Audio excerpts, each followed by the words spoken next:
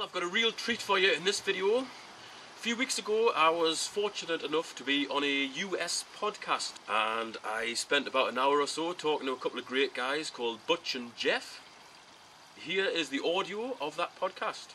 Now, because I don't want you to listen to an hour of my boring voice, instead of just putting a series of pictures as the video, I've actually gone back through my videos and I've picked out highlights from them. So it's almost like a greatest hits of things I've found and just things that I've been doing in my videos. So I hope you really enjoy this. I enjoy doing it and I'm actually contemplating setting up a UK metal detecting podcast. It's not simply because of the experience I had with Butch and Jeff, but because I think the UK needs one. It's a great hobby, full of some awesome characters, and I would like that to be brought to a, a wider audience. I know it's a fairly niche thing, metal detecting, but there's a lot of people listening to podcasts now. They're really easy to get. If you've got iTunes, just go to your podcast section, download them into your iTunes, put them on your iPlayer or whatever the hell it is you have. I've got Android systems, so I use something called what's it called? Not Podcatcher. There's numerous apps you can get to get podcasts. What's mine? Podcast Addict. That's what mine's called. Unfortunately, I've smashed my good phone, so I can't show you it, but it really is easy to get. You just go into your app store, get something that pulls podcasts in, search for a genre or certain titles, they'll all come up, download them, see what you think, subscribe to them, and you'll get new ones sent every week or every time the producers make a new episode. They're excellent. That's pretty much all I listen to now is podcasts. So that's the plan in 2015 to pull all the stuff out of my log cabin, make it into some sort of man cave, get recording gear in there, and run a podcast. Interview people from all around the world on Skype and really get some interesting detecting stories put out there. I want to reach out to manufacturers and and get a lot of information in there as well because the more information we have the better informed we are the better detectorists we are yes there's always going to be some clowns out there that make the hobby look bad but the simple thing is just don't include them they will not be mentioned i only want the good people and there's plenty of them out there these two guys who interviewed me for this podcast are two of the best butch and jeff so without further ado here is the podcast. And I hope you enjoy the video that I put together to go with it as well. Because it took me bloody ages. Throughout history, empires have risen and fallen. The world has changed time and time again. But there is one element that has remained constant gold. And now, the leader in the gold trade market, goldexchange.com makes it easier than ever to buy and sell gold. The time to act is now. GoldExchange.com. deep in the woods, it was ringing real good. Ten inches down, ten inches down with a solid sound. Mule shoe, mule shoe, you're so sweet. I'm gonna take you home with me. I dug it up,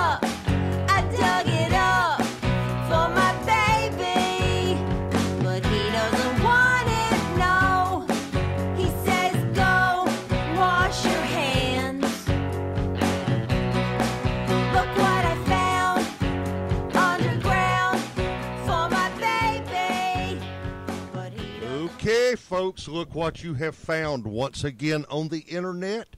It is American Digger's Relic Roundup. I am your host and also publisher of American Digger magazine. My name is Butch Holcomb. And if you are listening to this right now, which I really hope you are, this is a pre recorded broadcast. So you're welcome to call in our phone lines, but don't expect anyone to answer. However, the chat room, of course, will be going strong as always. So get on there and talk amongst yourself because Jeff and I are probably going to take a little time off tonight. Speaking of Jeff, Jeff is our co host, Mr. Jeff Lubert. Are you there, my friend? I am, I am, I am. Thank you very much, Butch. I am Jeff Lubert talking to you out of Denver, Colorado. I'm also a board member of Eureka Treasure Hunters Club, and you can find out more about our club by going to the club website at www.eurekathc.com. Well, I tell you what, Butch, uh, since we're recording today and we are not live, I'll just let you know that we have had some awfully chilly weather here in the Colorado area for the last, well, it's been over a week since we've actually been above freezing, and that's even the highs during the day. Um, I think today is about as warm as it's going to be for over the last week, and it's. I think we're supposed to hit a high of about 28 today. It was very cold here this morning, Jeff, in the southeast. Um, we were almost down to 40 degrees Fahrenheit. So uh, it did get up to about 50, though, and I actually spent this morning out metal detecting. Well, I hope you found something for the both of us because I don't know that I'll be getting out anytime soon. it depends. How much do you like pull tabs and Budweiser cans, Jeff? Well, I'm not a big fan of them, but you know what? That's some of the stuff we all have to go through, I guess. That is all I dug today. That was it. Um, hit some great sites or potentially great sites, but um, it turned out that I just could not get my search coil over anything good. The best thing I dug, are you ready for this, was a 1989 penny. So, jeez, yeah, and I was I was happy to see it because at least I knew my detector was working properly. Well, absolutely. Not That uh, definitely day, gives though. you the indication that things are actually operational. Absolutely, Jeff. So, what machine were you actually using for this search today, well, Butch? Today I was actually using my F75, my Fisher F75. I'm a big fan of that. Um, of course, I've got a, a regular stable of metal detectors. Depends on what I'm doing. Um, I like the F75 for general relic hunting and coin shooting. I like the AT Pro for water hunting. I even like the. Uh, I even use a Minelab GPX when I need to get the really, really deep stuff. But today it was the Fisher F75. And you know what, Jeff? They're offering an upgrade now on the F75. Have you heard about that? I have heard just Yeah. you know a little bit more than rumors, but I know what's out there, and I haven't uh, gotten in-depth study on it yet. So, Well, I was actually had mine completely packed up, ready to send it via the post office out to the Fisher folks to let them redo it. And a friend called me up this morning wanting me to go metal detecting, so I unpacked that sucker and went out there digging because that's what I do. well, there you go. You know what? Uh, you can pack that thing back up tomorrow and, and fire it off in the mail, and uh, it it realistically, from everything I've heard, will probably be back by next weekend. So, They're, they're fast, so um, we're going to see how that works out, and we'll probably be talking about that on the show. very good. Future that sounds show. awesome. Yeah, future show. So, have you been able to go metal detecting this week, Jeff, at all, or has it been just too cold? It's just been too bloody cold. Uh, honestly, there was a day here. Uh, the the low temperature was 14 below zero. Good lord! Yeah. Yeah. Then you start throwing in wind chill. It was about 25 to 35 below zero that day. So uh, I really don't like to detect in that kind of weather. No, I suppose not. I suppose not. Um, wow, I, I don't know what to say about that, Jeff. Burr. Brr. That's right. Brr. well, what I, I, I, you know, I'm bundled up here, Jeff, because it may get down to freezing in the next month or two here. So I got to keep warm. Go ahead and curse me. Go I'll- ahead and curse I'll hope- me. I'll hope for the best for you because you know what I uh, sitting here talking with uh, our guest beforehand tonight, and uh, it sounds like they're actually getting some reasonable weather that you know Yeah. might be able to go out and do do some detecting in. But even for them, it's a, a wee bit chilly. So it'll be interesting to uh, get their take on it. Well, I tell you what, Jeff, that sounds like a great segue into our guest tonight, and also the reason that we are pre-recording this show, for that matter. So why don't you tell everybody a little bit about what is going on and who we're going to have on here, and bring him on, get this ball rolling. All righty, we'll get this ball rolling. Uh, tonight's guest uh, is coming from all the way across the pond. Uh, you've seen him on YouTube, or at least I hope you've seen him on YouTube. I really enjoy his videos, and I've actually been a subscriber now for a little bit, for a week or so. Uh, once I discovered him, and uh, I really do appreciate him taking some time to join us tonight. We have uh, Richard, and AKA, I guess, Pond Guru. Are you there, Richard? I am indeed. Hello there. Hello, Richard.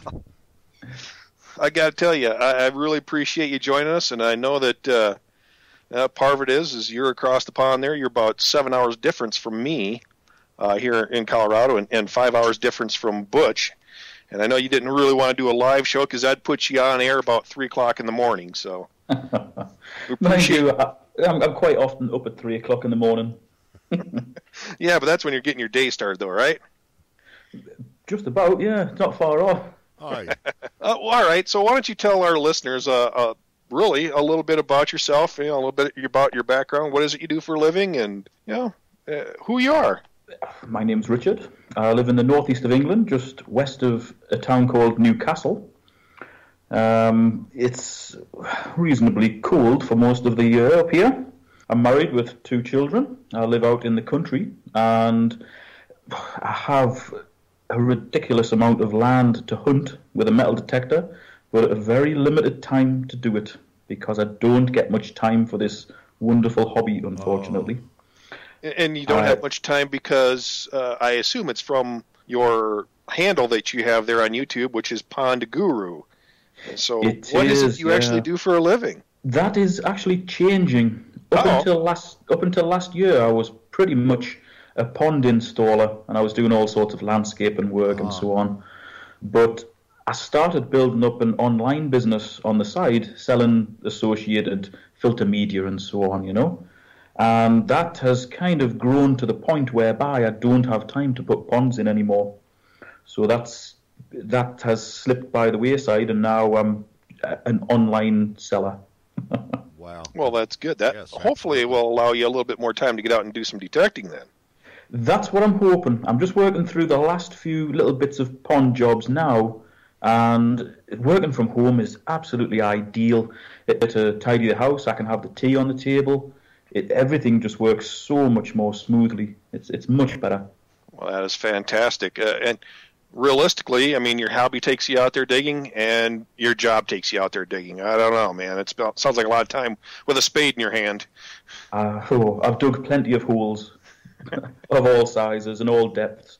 But one of the, one of the beautiful things is I do a lot of my work, or I used to do a lot of my work in the country, and quite often it was for landowners. So back in the day, before I got back into detecting, I would ask them for shooting permission, and I would go up there and shoot rabbits and crows and so on, basically vermin control. And when I got back into detecting, I still had all those contacts, and everybody who I asked just said no problem at all. They knew they could trust me with a gun on the land, so surely they can trust me with a metal detector, and it, it's just opened up a, a wealth of potentially good sites. I heard you mention that in the in the intro. Potentially good sites. They're all Yeah, that's one of the things that we've run into here in Colorado. Uh, my partners and I, uh, Ron Linder Erickson, we've run into some, you know, really good potential sites this year that really haven't panned out. But that's the way it goes. That's why we go out there and do it. You just never, you know, know what you're gonna find. no, not the find? world. The world's full of potential good metal detecting sites. Absolutely. Jeez. Alrighty, so uh, I'm trying to look through my notes here and see what we sh- should be uh, Oh. talking about. But we already discussed you're in the northeast of England, and I've actually uh, detected up in that area myself a couple times. I envy both of you guys, What? by the way. England is on my bucket list. Um, one day I'm going to get over there, and it's going to be the metal detect. So one day. Yeah, my wife and I one time took a trip, and we uh, stayed in New York for a few days. And uh, I rented a bicycle and tried going around to the farms around town and knocking on doors and see if they'd let me detect. And didn't have any success with that until uh, we were actually out driving around. Uh, I think we're up near. Oh gosh, I couldn't even tell you where we're at. We're northeast of town a little ways, and finally I convinced someone to let me on their land for about an hour is all I had time for. So Mhm. didn't find much. I did get one really really slick copper. Um, it looks like it's probably from the 1700s, um, but I was quite happy with that. I, I pulled probably about 15, 20 pounds of iron out of their pasture and and uh, had a heck of a good time. Uh, Getting permissions is extremely hard, and I would imagine it's the same right throughout the world. It but there's, there's there's a such a pressure over here for permissions because there's so many people into the hobby, and there's so few landowners willing to let people on the land now. And that's where you're having that previous contact with people really helps to open it up as opposed to just being a cold as we call here a cold call where you're just kind of walking up knocking on the door or in some cases you know you have to do a phone call or a letter to, to try and get an introduction. And Yeah, I can only imagine how difficult and frustrating that is for people because I'm, I'm really fortunate that I've never had to do that. You know, um, I, I couldn't imagine doing that, and I, I would.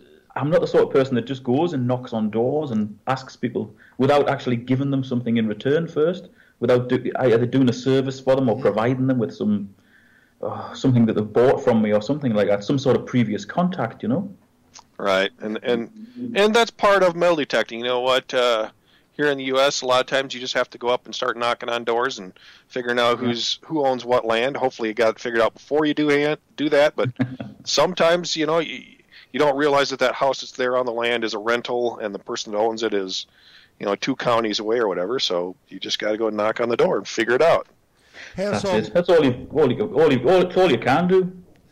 Has the Antiquities Act over there helped as far as getting permission? You think the people that do have to knock on doors? Because I know that the way I understand it, that if something good is found and the museums buy it, then the property owners get to share in the profit. Do you think that helps them any or, or not?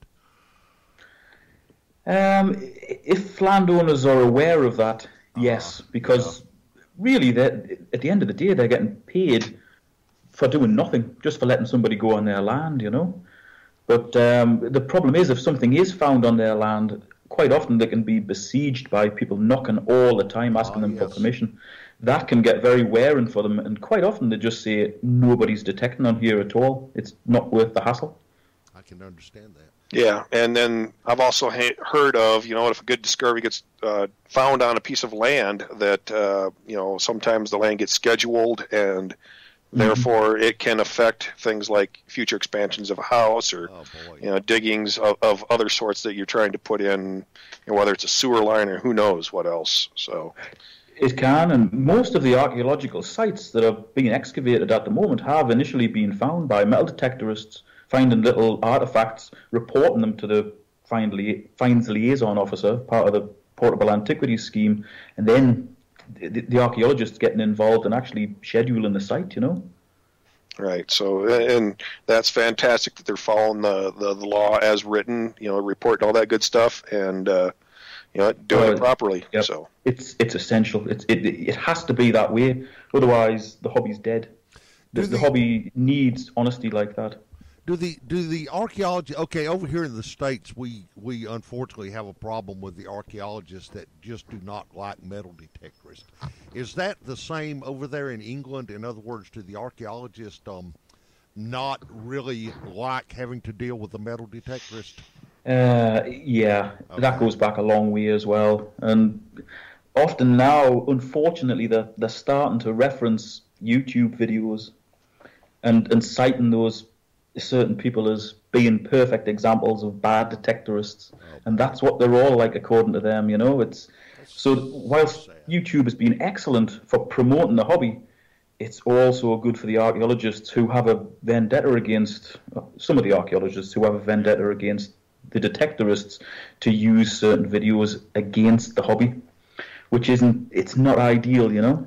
and, and that's where it is a, a two-edged sword. It is. Yeah. Yep. Yeah.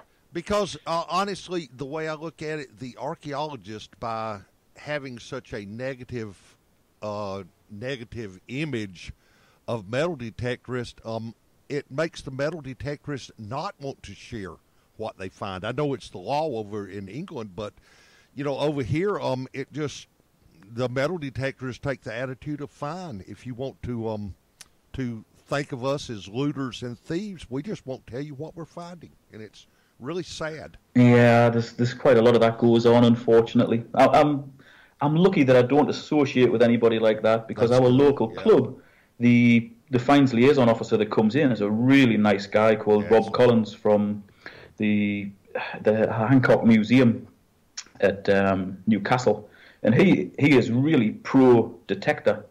And there's actually a site quite near me where the club's been hunting quite a lot. And they found a lot of Roman stuff. They found Celtic stuff. They, found all sorts of artifacts. And at one of the club meetings, the the finds liaison officer Rob actually came to the meeting, and he had a full slideshow and graphs and charts and everything showing when this site had had been under the most occupation and Oh, that's plotting all the finds on maps and everything. It, it was really great. You know, he'd really done an excellent service for the detectorists. So, you know, the, as much as some archaeologists really don't like detectorists, there are a lot who really appreciate them as well. that that is good. Yeah. And, and you know what? I, I think the the ones that really don't like the detectorists are more the old school archaeologists. Although I, you know, I got this funny feeling they're being taught that in school nowadays They are. that they, they don't like them. But you know what? I think the tide is turning and, and we're heading in a proper direction. And part of it is thanks to the the English uh, portable antiquity scheme. So I really applaud that and, and really, you know, hope that the U.S. will start heading in that direction in the in the near future. So. Yeah, yeah. All right, so you're sitting there talking about you know the, these uh, videos, YouTube videos are kind of a, a double-edged sword, or as I uh, I guess I put it that way. Now, why is it that you actually make the videos? I mean, I've seen your videos, and my gosh, I really enjoy them a lot. They're That's great. actually probably my favorite YouTube channel. this isn't metal detecting related, but part of the reason why I make videos is because I've got awful problems with memory. So really, it's an online memory bank for me. It, so I can actually rem- look and see what I've what I've found and where I've been. You know, That's excellent. Well, let's say eh, a lot of people write down logs and stuff. Yours is just a video log of, of what you find and where you find it. pretty much, yeah. And I also like to make the odd video that that helps people with settings and search techniques and so on. And, and and when I can, I like to explain a little bit about the site and what I'm expecting to find, or should I say, what I'm hoping to find. You know, I don't just like to go out and have a camera in my pocket and just video the finds and you know really make a, a shaky, wind-affected video. I like to try and make it watchable. You know, just just so it's a bit of an experience for people. and that, like I said, that's part of the reasons why I really uh, enjoy your your YouTube channel so much. There's a couple uh, guys out there I found that uh, really have some quality videos like that where they talk about you know the actual history of the item and the area surrounding where they're searching and and uh, boy, I tell you what, those are definitely my favorite YouTube channels. I've seen far too yeah, I've seen far too many videos out there of you know what, here's my find. All right, That- here's Yeah. my next find. old. Here's my next find. It, You know, yeah, it just yeah. shows things with no context at all. There's actually a, an excellent lad in Germany called Hans. Has a channel called Terra Germania. I don't know whether you've seen him. I've not have seen that one yet. I'll have to check that out. He's a really nice fella, and he, he presents the videos really well. His English is excellent, and everything's done on a tripod so that the, the shots are still. He has a proper mic. There's not there's not no wind noise, and everything's filmed really beautifully. Shots of the countryside, and he explains about where he's hunting and everything. He's a, he makes really good videos. And what was that YouTube channel again, or his handle? It's Terra, which is T E R R A, so Terra as in Earth, Yep. and Germania as in German with an E on the end. Oh, Terra okay. Germania. Yeah. I've probably pronounced that wrong, but I, I, I first started watching his videos about 18 months ago, and, and I, I really appreciate the, the effort that he puts into the videos. He, he makes a really good job. And I think that's great what you talk about um the way that you do your videos and I guess he does his videos as well is um you know you're using it as a teaching tool so I think that's very important.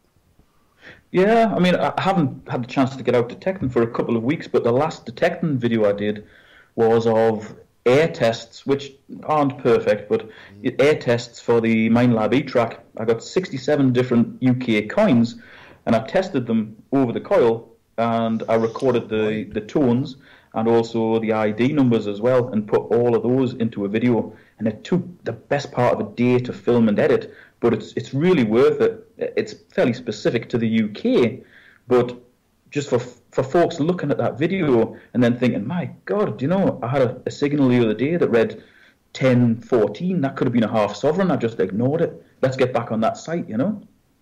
Yeah, I, I actually watched that video and, and enjoyed it. I do not have an E Trac, but I do have the CTX. So the next time over there, I will be definitely be reviewing that because I'm sure the IDs are going to be very close, if not exactly the same. So I think they are. Uh, Is, is it split oh, 40 down and 50 across? I believe so. I do not actually. Said I've just purchased the machine probably a month ago, and I'm literally just just starting to scratch the surface of it. So I'm I'm not exactly sure, but I'm I'm 99% sure that they are identical in their ID screens. Yeah, I, I just love the idea that the the target can hit anywhere.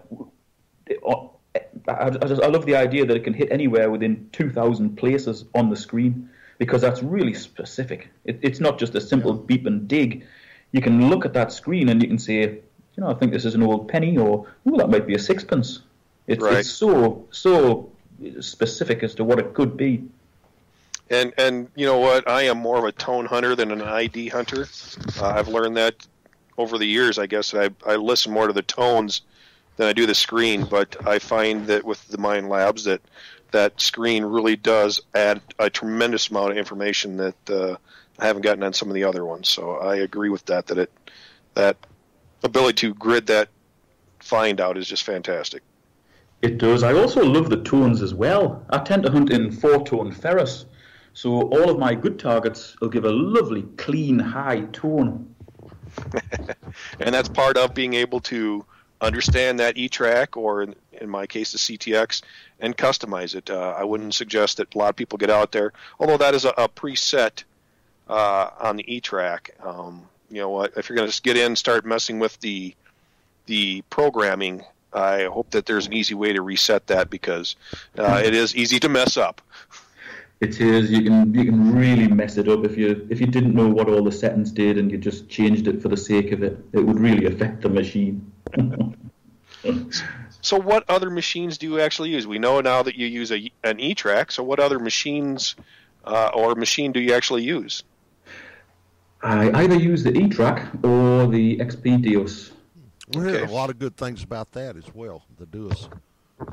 The Yeah. Deus is an extremely sharp machine, very sharp, and the although I don't like the tones on it, the this oh, it's just so good in iron. If you have an irony sight, it identifies the targets within loads of little iron targets extremely well, and it gets very small targets at a reasonable depth as well.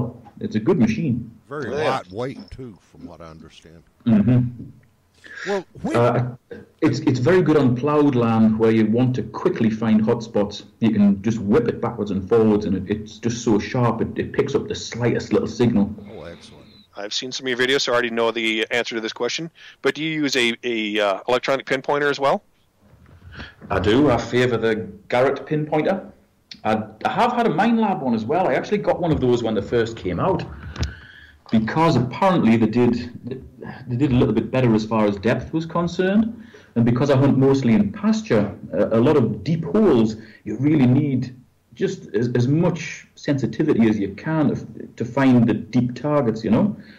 And I, I bought one, and the air tests were very encouraging. But when I actually used it in the ground, in, in real world conditions, it just didn't perform as well as the Garrett, so I sent it back. Yeah, there you go. There's quite a, a testament for that Garrett Pro pointer.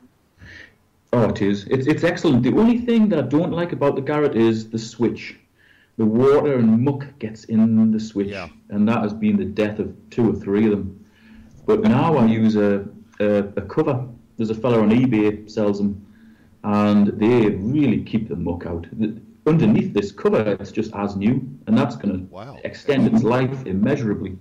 Yeah, yeah. I, like I said, I've seen your videos and I've watched uh, many of them, so I already knew that you were using that cover, and that was one of those points of conversation I wanted to get to, and I appreciate you getting there for me. Uh, what does one of those little covers cost? I mean, is it?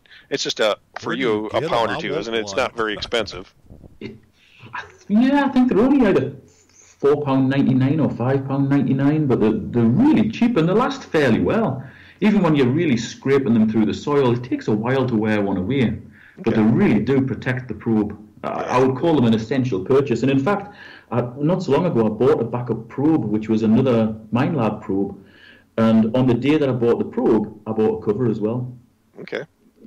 And so they make them actually for multiple machines. They're not just for the Garrett Pro Pointer because I see them. They look like they're pretty much custom fit for the Pro Pointer, but I guess I have not seen one of the the Minelab Pro pointers yet, so I don't know if they're Yeah, that close. The guy that makes the probes that I, uh, the, the, the covers that I buy, he definitely makes them for the Minelab, for the whites, and I think for another one as well. Maybe there's another two or three different probes. But Yeah. they, they, they all do exactly the same job. They all really extend the life of the probe, which is very important. Does it make it waterproof as well? No, the, Okay. the, the end is actually open, the bottom end, where, where the detection is. Um, and the top is just a cap that goes on. So, Okay. whilst they would withstand washing, a heavy heavy wash under a tap, Yeah. they won't withstand being submerged in water. Okay. Awesome. Now, you've been doing videos for a while, um, from what I've seen. Uh, are some of your better finds that you've made actually on video, or, or you know, is it one of those things where you, you started doing your your videos after you really started coming up with some decent finds? No, I would say the better finds are pretty much in the videos. They're very spread out because I've got quite a few videos and a lot of them are quite long. But I would say the vast majority of the better finds are in the videos. So there you have it. There's there's some pretty cool finds that I've seen, and I, I really appreciate that. Um, I was also uh, sitting there watching one of the videos. It's one of your videos, I think, from earlier in the year, if not last year, and you're talking about that. Um, you know what? There isn't many hammered coins being found in the pasture lands that you typically like to hunt.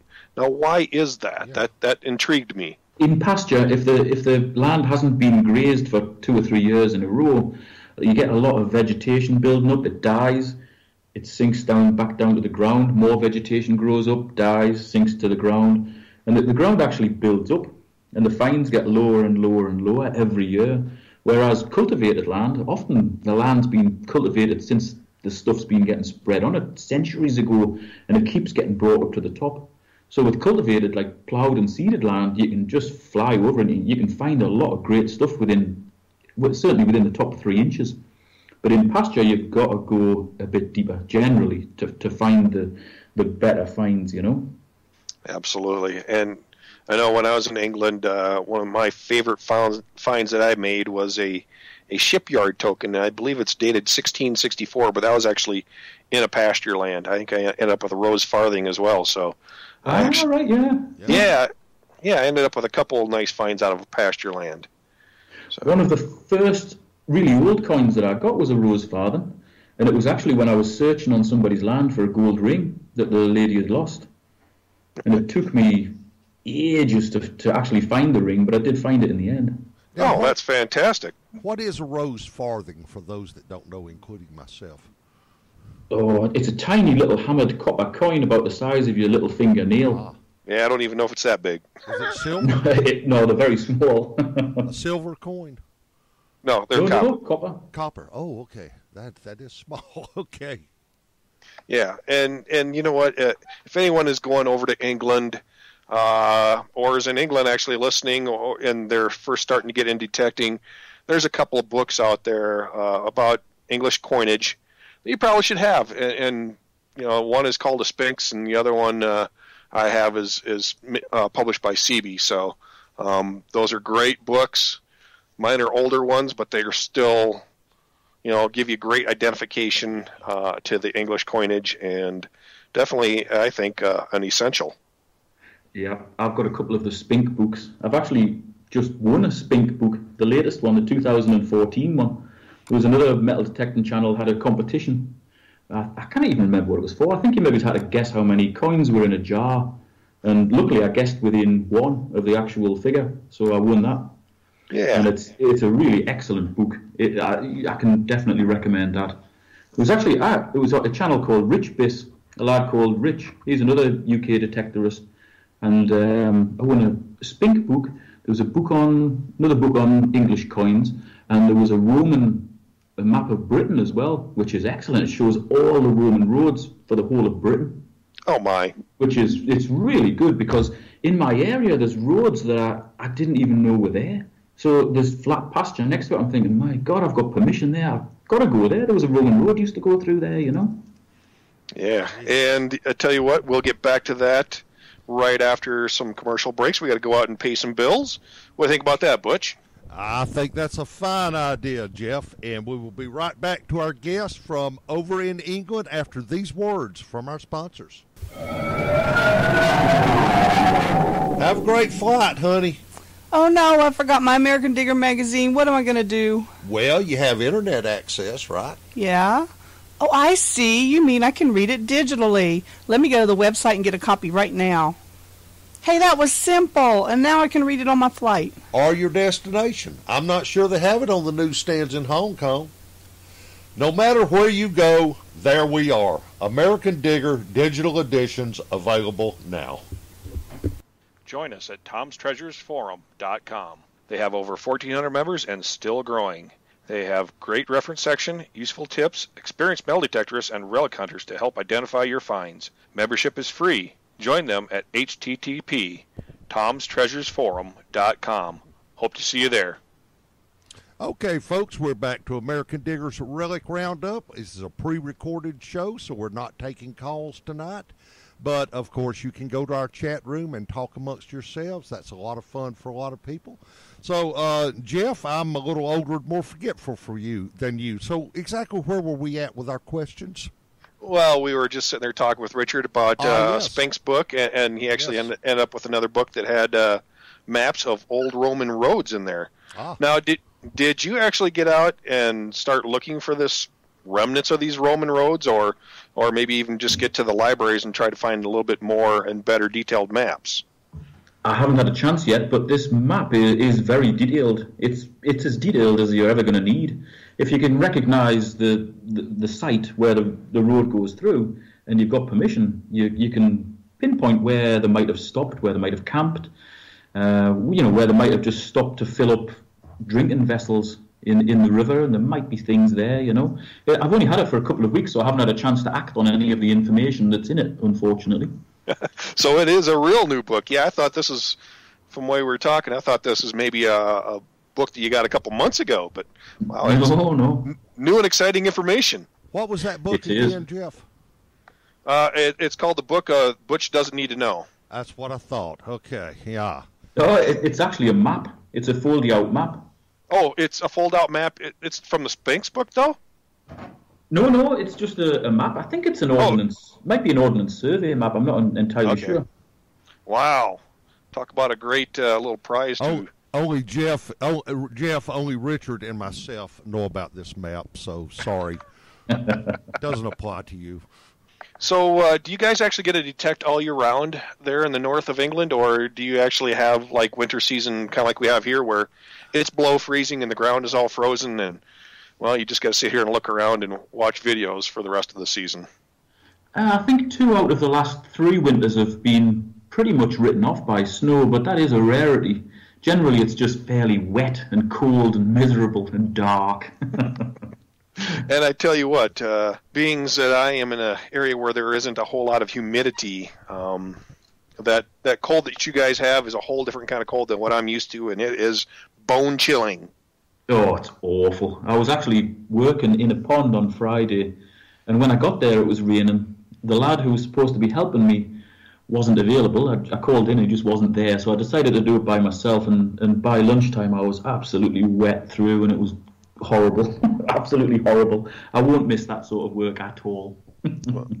That's good that uh, you know your other business is picking up, and and you can actually leave that to the younger crew out there. I guess you know it's.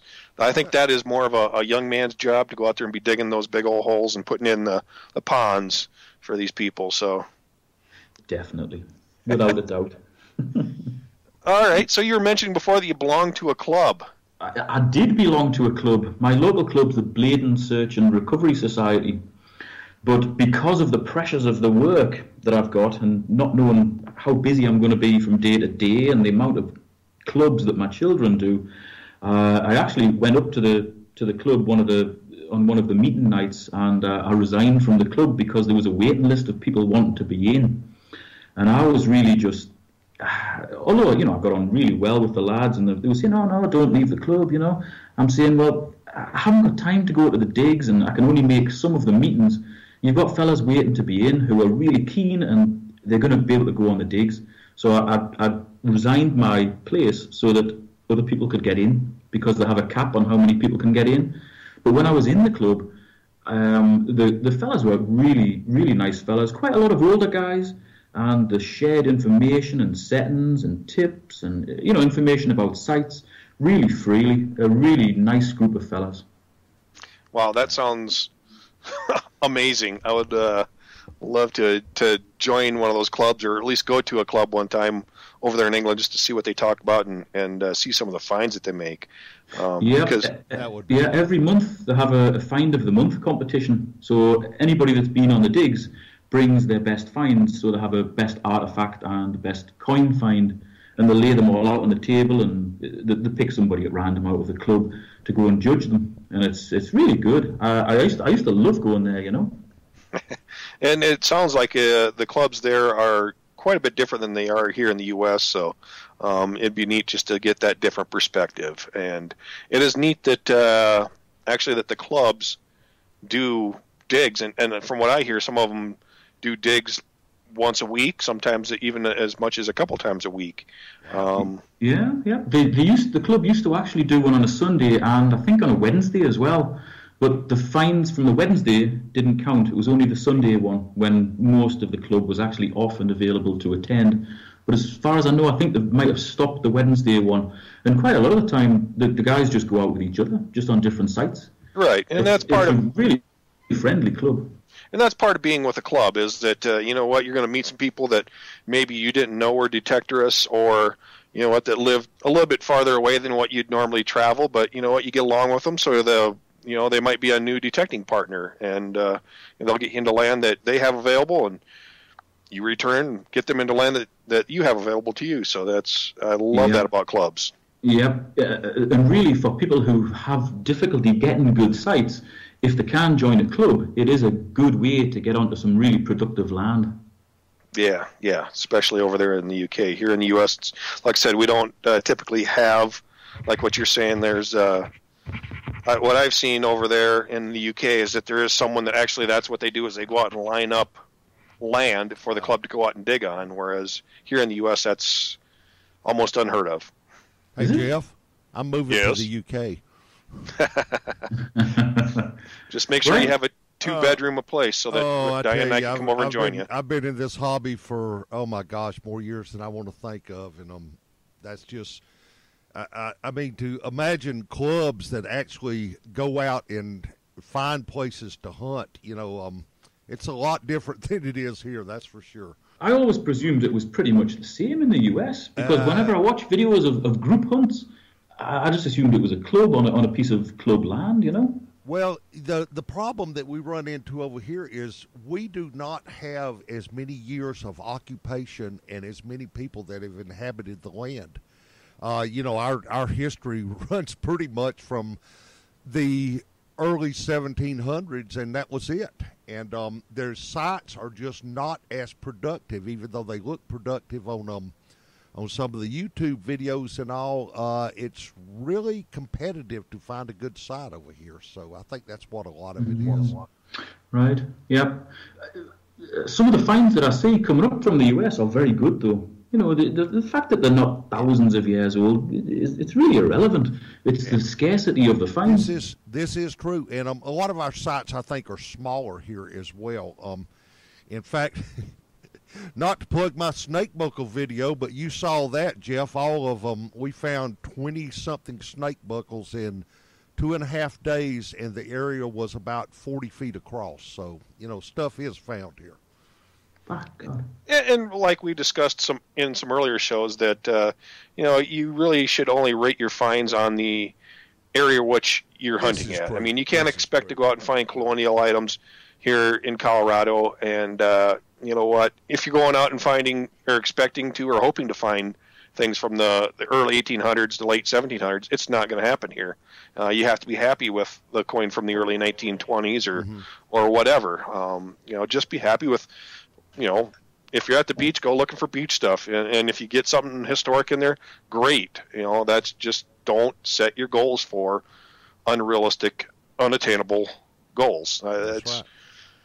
You know, be happy with. Like I said, you know, when you go to England, then you can go hope for maybe a Roman site or you know some medieval or some hammered or you know Anglo or or something along those lines. But you have to be in the right spot. Once again, you can't expect to go out and find a, a Roman site just by hitting some random field. You have to do a little bit of research. You have to study it, and uh, you know what? Spend some time in the field.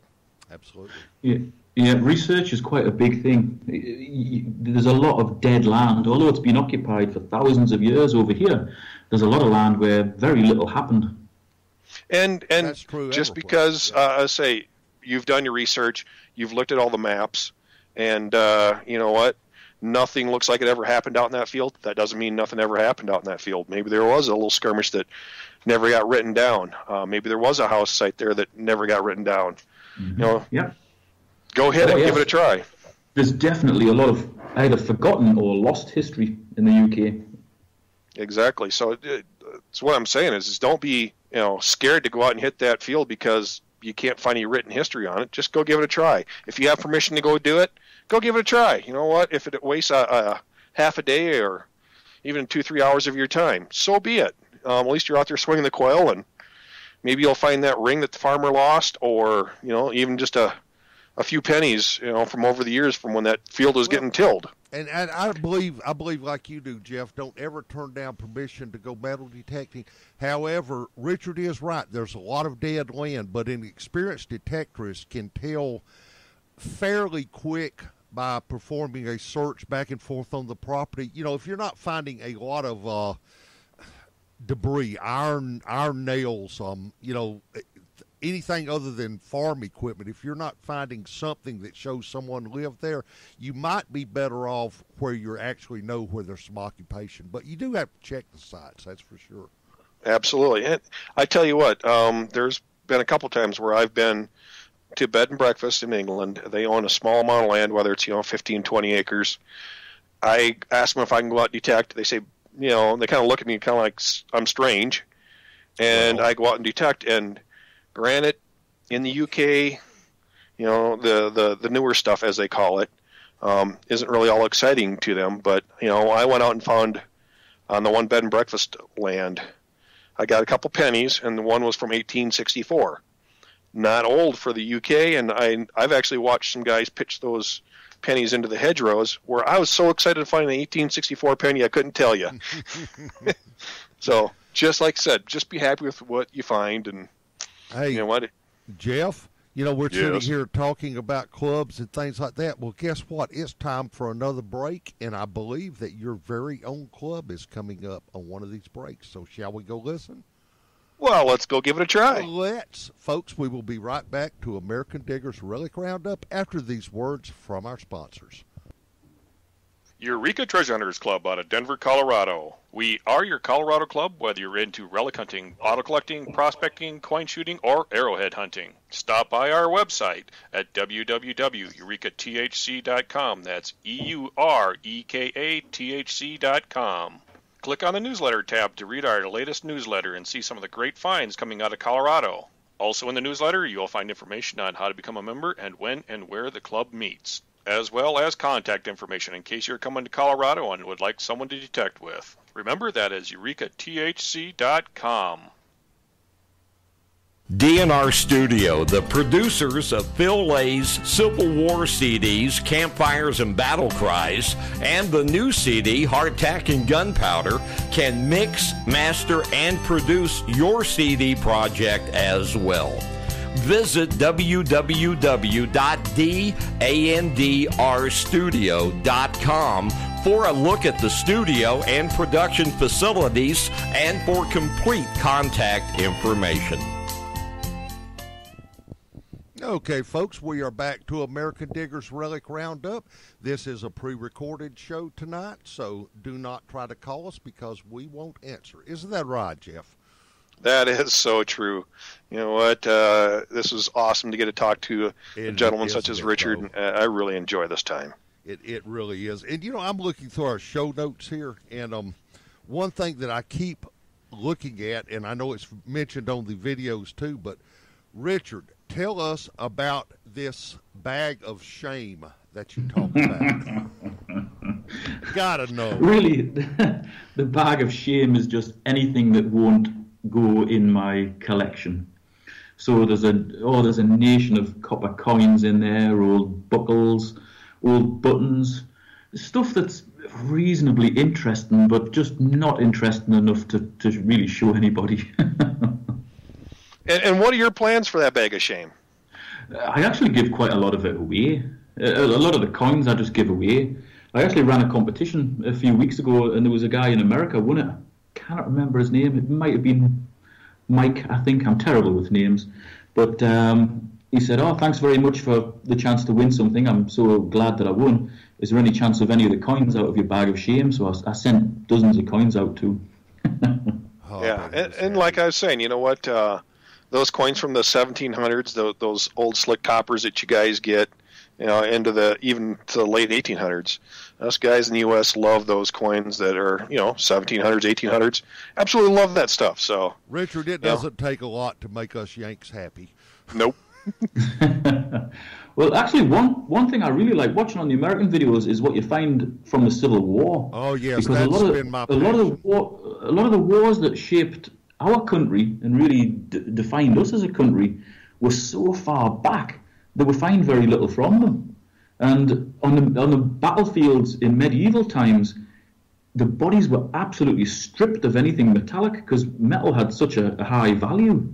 You know, they could, they could melt it down into something else or they could reuse the parts of armor. So the, there's very little on battle sites over here. and and that is something that that me in particular have been blessed with living in the southeast of the United States. Um, well, the the town that I live in, which is Acworth, Georgia, was a supply depot for both the Confederates and Yankees during the Civil War, and they were all around here, and that has actually been what got me into metal detecting and is still my main love. It's getting hard to find now because there's so many people that go after it, but um you know, okay, so the stuff is, you know, maybe 150 years old. It's not it, that old in the overall scope of things, but my God, it's historic. It's just really, really cool to find. So, um, maybe It one day you can get over here. We'll take you to a Civil War site.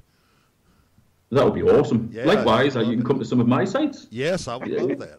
Yes, Give me an excuse to get out. yes, it would. Hey, you know what? We were just sitting there talking about what got Butch into detecting. Uh, what actually got you into detecting, Richard? Um, years ago, my father used to own a sawmill, and he used to get a lot of wood from Eastern Europe, where there was a lot of heavy fighting in Russia and so on. And quite a lot of the time, he would run a metal detector over the wood, over the big logs, before he put them through the saws in the sawmill. So I used to take the metal detector and go out into the local fields and see what I could find. And to be honest, I just found a, a right load of rubbish, and the the novelty of it wore off fairly quickly. But a few years ago, um, I just decided to get back into metal detecting again. Maybe it's mm, four years ago or so. Maybe it's a bit longer. So I bought a Garrett Ace 150, which is where quite a lot of people start. And I thought I would just go out in the same fields that I had hunted when I was a child. Uh, and I started finding things from the 1700s. I found a, a nice snake buckle, spindle whorls. I didn't find anything of uh, massive value, but it, it the bug really got me then. And I went straight from the 150 to the E-Trac. Wow, that's quite a jump. It is, but the finds, the difference in, in not only the quality and also the depth of the finds that are made with the E-Trac was unbelievable. The 150 was really hunting the first four to six inches, but with the E-Trac, straight away I was into coins 10, 12 inches down that other detectors just didn't touch. I was going on places around my around my local area that had really been hunted quite hard in the 80s and 90s with other detectors, and it was just like a new site. You'd think nobody had been there because they weren't getting down as far. What a difference it made! Well, and, and not only that, but like you're saying, you know, if these fields have been plowed and, and tilled, that will bring stuff to the surface that was not detectable years ago. And if no one's been on that field for 15 years and it's been plowed 15 times since then, it's going to bring up new targets. Oh, they do, but I mean, this was mostly pasture that I was hunting. Oh, so the, wow. the difference was really apparent. And I had hunted it myself as well with the, the 150, but it just wasn't getting the depth. The E-Trac just got that depth, and it gave those lovely tones, and you get the really clear ID at the depth as well. And I absolutely love it because the field in front of my house is huge. There's got to be some excellent finds still out there, and almost every every dig that I do is deep. I, I cannot remember finding anything under eight inches in that field. Wow, that is getting some depth down there then. Yeah, that The uh, Garrett Ace 150 is a fantastic little starting machine, and uh, you know what? When people ask about starting machines, uh, whether it's for their, you know, for their child or, or you know what, they're looking to get started the machine, uh, a starter machine. I always mention one of them is the Garrett Ace 150 or the 250, and then I also throw in things like you know the White's Coin Master or the Fisher F2 because you know what, they're they're lower price machines. They're great starter machines all around, and you know what, they're they're actually all all three of those that I mentioned are, are made fairly well. They're not top of the line quality, but they're definitely good starting machines, and it's a good place to start off at. Definitely.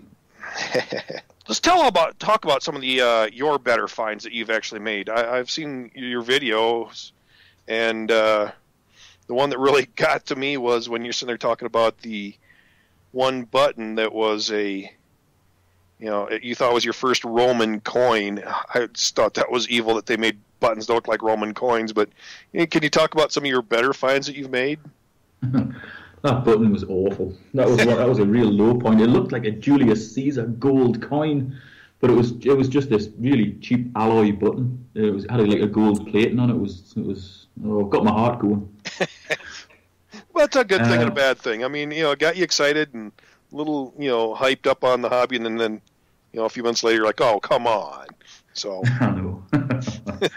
so well, actually, one of the the best finds isn't a particularly valuable one, but it was my first hammered coin because it's it's a real milestone finding your first hammered coin, especially if you're hunting mostly pasture because it you just don't get many at all, you know.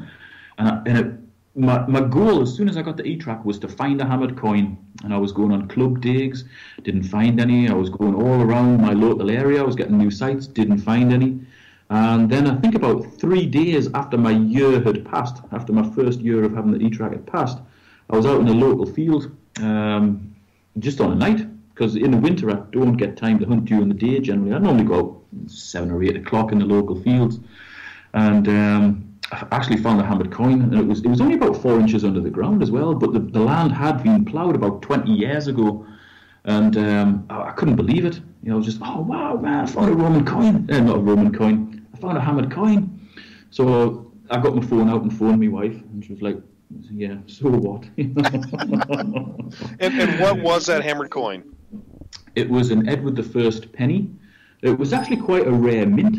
Um, it was an Exeter mint, which makes it quite unusual, and it was in reasonable condition. So I was I was absolutely over the moon with that. It, it, it's something I'll never forget, and yet it's only a tiny little piece of silver, but it was it was a real milestone.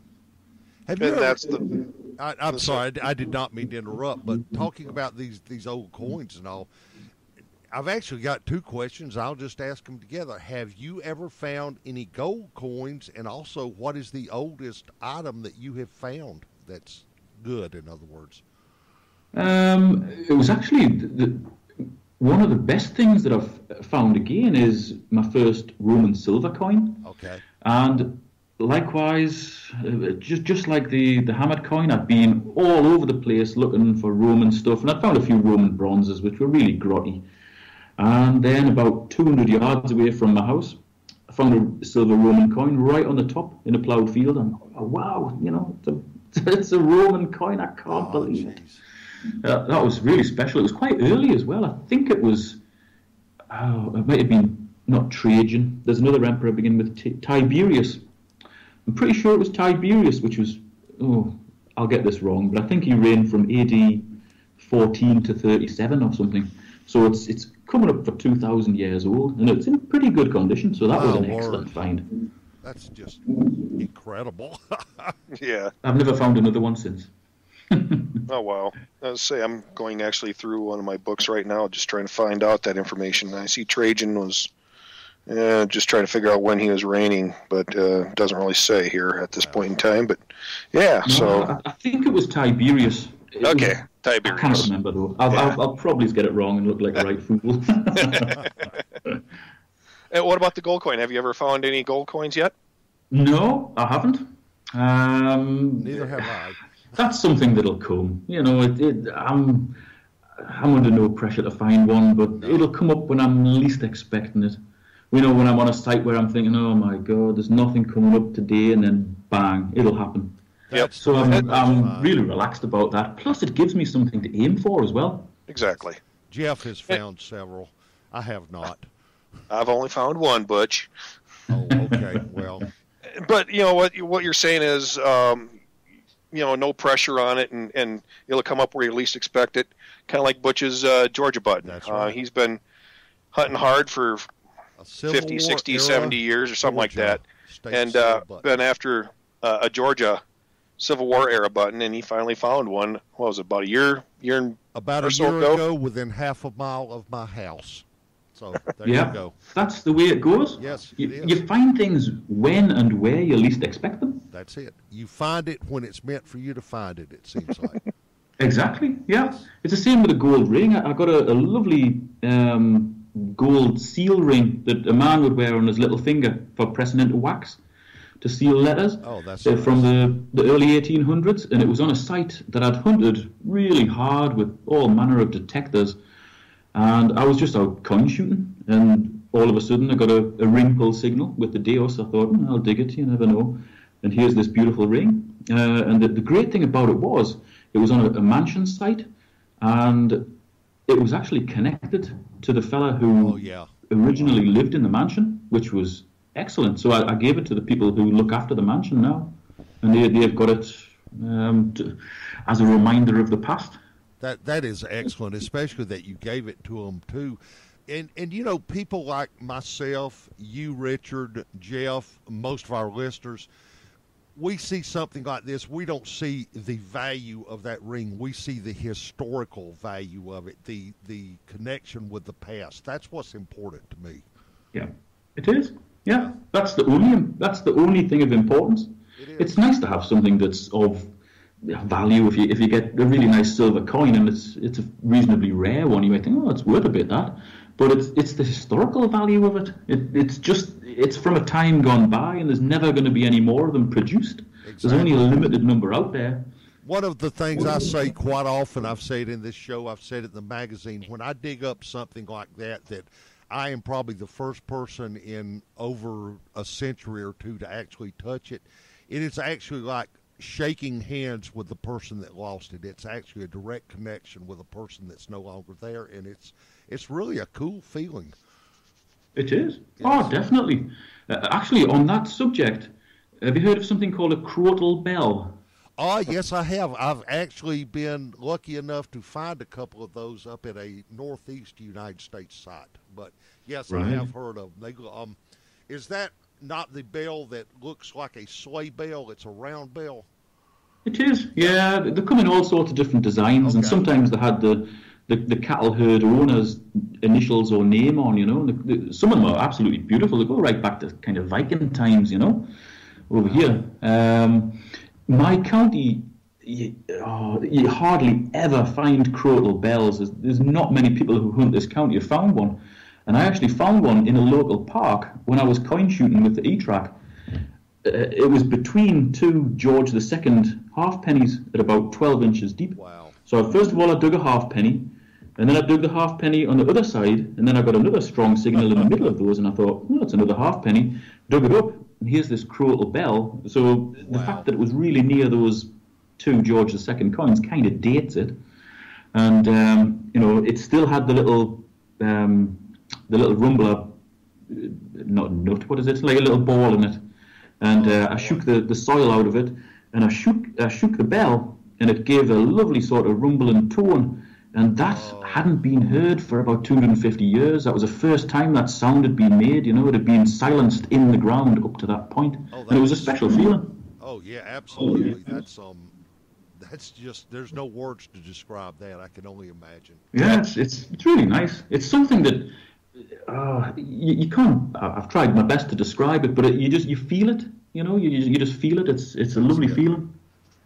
Yeah, I'll, I I actually found when uh, I was over detecting one time. I was in a pasture uh, to the west of a church that I think Henry Henry VIII destroyed that church, and I actually found a crotal bell that actually had uh, the, the little Christian cross on the bottom of it, Right. and it was just Very a beautiful nice. one. And I literally, like you're saying, when I dug out all the dirt out of it, I shook it, and the the little tumbler was still in there. And it gave just a nice little tone. I just like you're saying, I remember that just like it was yesterday.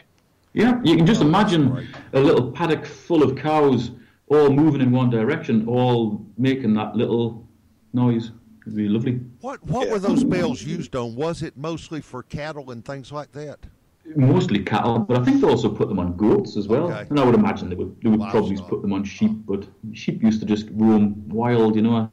I think they used to have them more on the on the, the more domesticated animals.